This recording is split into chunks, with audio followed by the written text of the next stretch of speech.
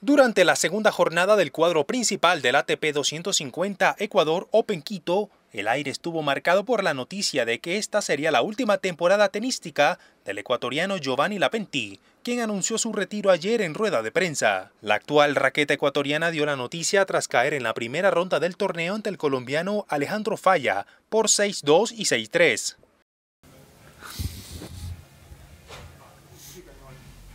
Nada, un poco de todo, ¿no? Un poco de, tristeza, de, saber que, que, como tú dices, que no va más, que, que ya esta, esta sensación de, nervios antes de entrar a la cancha, de, ver a la, a la, gente que te apoya y, jugar eh, lo que más me gusta, que es el tenis, está llegando a su final. Jugaré unos torneos más, me encantaría poder jugar la Copa Davis en Puerto Viejo y, luego ver si llego a fin de año o a mitad de año, pero, pero seguro acá no, no va más.